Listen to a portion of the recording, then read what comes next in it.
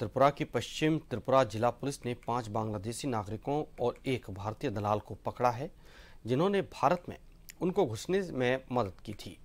NCC police station के प्रभारी inspector Sushant देव ने बताया कि पुलिस ने सूचना मिलने पर अवैध घुसपैठियों को पकड़ा। उन्होंने कहा कि खुफिया जानकारी पर कार्रवाई करते हुए पुलिस टीमों को नंदन नगर मुस्लिम पारा भेजा गया, जहाँ से अवैध घुसपैठ को आरोपितों को हिरासत में लिया गया है।